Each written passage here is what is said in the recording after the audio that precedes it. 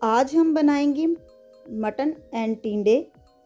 बहुत ही कमाल की रेसिपी है और बहुत आसान।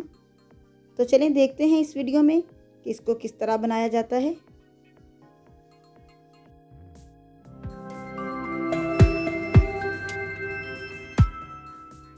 अस्सलाम वालेकुम वेलकम टू रियाज किचन टिंडे मटन बनाने के लिए सबसे पहले हम मटन को वॉश करके बॉईल कर लेंगे।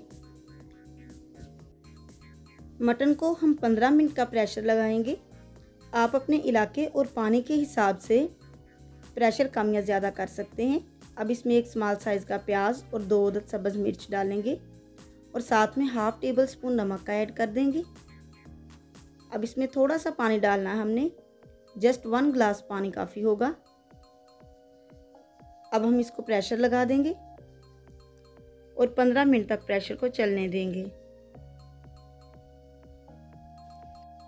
अब हम दूसरे बर्तन में मसाला रेडी कर लेते हैं। मसाला रेडी करने के लिए हमें चाहिए एक कप ऑयल और उसके बाद दो मीडियम साइज़ के बारीक कटे हुए प्याज। इनको हमने लाइट गोल्डन कलर आने तक फ्राई करना है।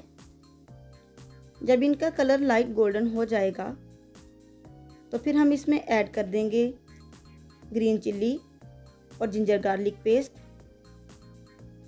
और फिर इसमें जाएँगे दो अदद मीडियम साइज़ के टमाटर का पेस्ट। अब इसको हम दो मिनट तक फ्राई करेंगे, उसके बाद दूसरे मसाले ऐड करेंगे। सबसे पहले इसमें जाएगा हाफ़ टेबल स्पून नमक।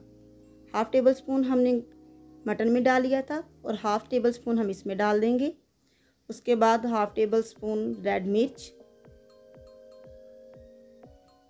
वन टीस्पून हल्दी हाफ़ टेबल स्पून खुश्क धनिया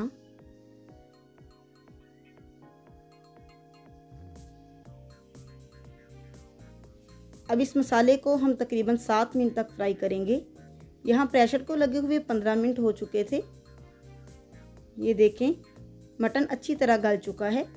अब ये जो अंदर पानी है, इसको हम अच्छी तरह ड्राई कर लेंगे। जब पानी ड्राई हो जाएगा तो फिर हम इसमें तैयार किया हुआ मसाला ऐड कर देंगे।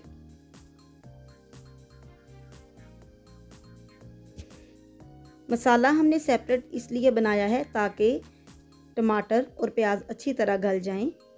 अब इसमें इस तरह टिंडे कट करके डाल दें और फिर इनको छः से सात मिनट तक अच्छी तरह फ्राई कर लें।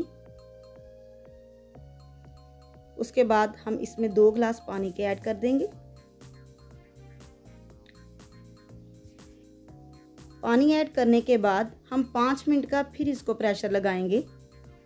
ताकि टिंडे भी अच्छी तरह पक जाएँ। यहाँ पाँच मिनट का प्रेशर लगाना है, इससे ज़्यादा प्रेशर नहीं लगाना। प्रेशर को लगे हुए पाँच मिनट हो चुके थे।